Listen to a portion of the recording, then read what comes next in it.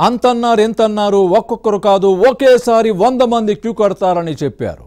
ఇరవై మంది ఎమ్మెల్యేలు టచ్లో ఉన్నారని కూడా లీకులు ఇచ్చారు. కానీ ఆపరేషన్ ఆకర్ష్ కాస్త వికర్షించిందా చేరికలపై ప్లాన్ బెడిసి కొట్టిందా? ఇంతకీ ఆ పార్టీ నేతలు లీకులకే పరిమితమయ్యారా? What's the story.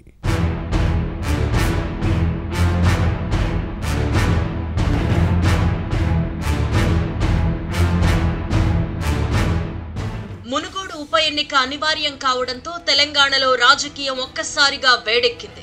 ఇప్పటికే ఆపరేషన్ ఆకర్ష్కు తెరలేపిన బీజేపీ టీఆర్ఎస్ కాంగ్రెస్ నేతలకు గాలమేస్తోంది. ఈ నెల ఇరవై ఒకటిన మునుగోడులో అమిత్ షా సభలో పదుల సంఖ్యలో ఇతర పార్టీల నేతలకు కాషాయ కండువా కప్పాలని ప్లాన్ చేస్తున్నారు. ఇందులో భాగంగా ఈటల నాయకత్వంలోని చేరికల కమిటీ సంప్రదింపులు జరుపుతోంది. ఇదంతా బాగానే ఉంది గాని కమలనాథులు లీకులు ఇస్తున్నట్టు క్షేత్రస్థాయిలో పొలిటికల్ సీన్ మాత్రం కనిపించడం లేదు. కమలం గూటికి చేరేందుకు చాలా మంది నేతలు వెనకడుగు వేస్తున్నారట.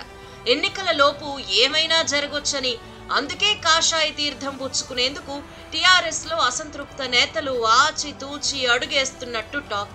బీజేపీ నుంచి ఒత్తిళ్ళు పెరిగినా కారు దిగేందుకు కాస్త టైం కావాలి అని అడుగుతున్నారట.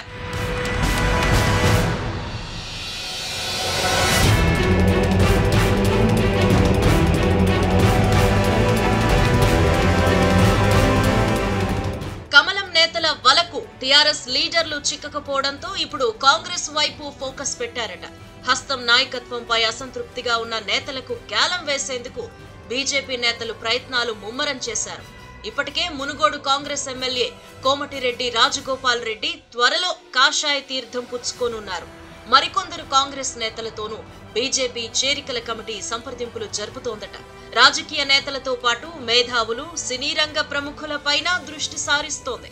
అందులో భాగంగా మాజీ ఎమ్మెల్యే సినీ నటి జయసుధతో బీజేపీ నేతలు సంప్రదింపులు జరిపారు. జయసుధ కొన్ని షరతులు పెట్టడంతో ఢిల్లీ పెద్దలే జయసుధ చేరికపై డీల్ చేయనున్నారు.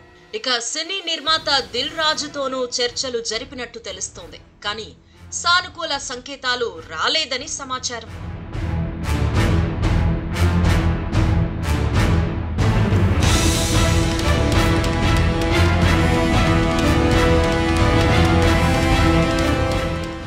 మేధావి వర్గంలో రిటైర్డ్ ఐఏఎస్ ఐపీఎస్ అధికారులను బీజేపీలోకి తీసుకొచ్చేందుకు ప్రయత్నాలు చేస్తున్నారు బీజేపీ నేతలు. తెలంగాణ ప్రభుత్వ సలహాదారుగా పనిచేసిన తేజావత్ రామచంద్రు నాయక్ ఇటీవల టీఆర్ఎస్ పార్టీకి రాజీనామా చేశారు. ఆయనతో పాటు రిటైర్డ్ ఐపీఎస్ అధికారి కృష్ణప్రసాద్ ఈ నెల ఇరవై ఒకటిన అమిత్ షా సమక్షంలో బీజేపీ తీర్థం పుచ్చుకుంటారని సమాచారం. మునుగోడు ఉప ఎన్నిక అనివార్యం కావడంతో బీజేపీ వేగంగా పావులు కదుపుతోంది. ఈ నెల ఇరవై ఒకటిన అమిత్ షా భారీ బహిరంగ సభలో రాజగోపాల్ రెడ్డితో పాటు ఆయన అనుచరులు కాషాయ కండువా కప్పుకోనున్నారు. ఈ సభలోనే దాదాపు ఇరవై మంది పేరున్న నేతలను చేర్చుకోవడానికి తెలంగాణ కమలనాథులు వేట మొదలుపెట్టారు. మరికొందరు కాంగ్రెస్ టీఆర్ఎస్ నేతలతో రహస్య మంతనాలకు ప్లాన్ చేస్తున్నారు. మరింత మందిని లాగి హైకమాండ్ ఎదుట తమ సత్తా ఏంటో చూపాలి అని జాయినింగ్స్ కమిటీ భావిస్తోంది.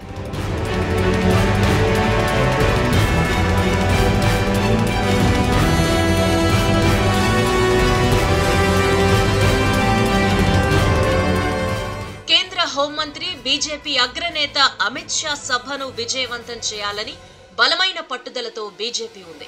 అయితే చాలా మంది నేతలు ఈ సభలో బీజేపీలో చేరతారని చెప్తున్నప్పటికీ ఆలోచనలో పడినట్టు తెలిసింది. ఖమ్మం మాజీ ఎంపీ పొంగులేటి శ్రీనివాసరెడ్డి మాజీ మంత్రి జూపల్లి కృష్ణారావు ఉమ్మడి కరీంనగర్ జిల్లాకు చెందిన ఆరేపల్లి మోహన్ పుట్ట మధు కడియం శ్రీహరి కుమార్తె చేరికలు ఆలస్యమవుతున్నట్టు సమాచారం. ఇప్పటికిప్పుడు కాకుండా మరికొంతకాలం సమయం తీసుకోవాలని వీరంతా భావిస్తున్నారట. అసెంబ్లీ ఎన్నికలకు ఇంకా సమయం ఉండడంతో వేచి చూసే ధోరణిలో ఉన్నారు అని సమాచారం. ఈ లోపు ఏమైనా జరగొచ్చు అని జంపింగ్ జపాంగ్స్ భావిస్తున్నారట. మరోవైపు మునుగోడు ఉప ఎన్నిక ఫలితం చూశాక బీజేపీలో చేరతాం అని మరికొందరు నేతలు చేరికల కమిటీకి చెబుతున్నారట. మునుగోడులో బీజేపీ గెలిస్తే ఖచ్చితంగా చేరతాం అని చెబుతున్నారట.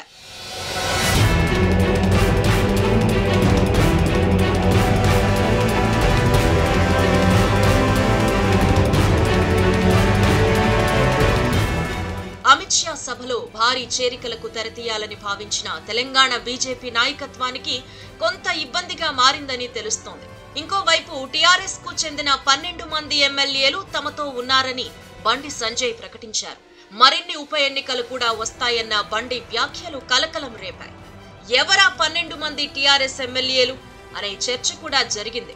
తాజా పరిణామాలతో మైండ్ గేమ్లో భాగంగానే బీజేపీ నేతలు లీకులిస్తున్నారు అన్న చర్చ నడుస్తోంది.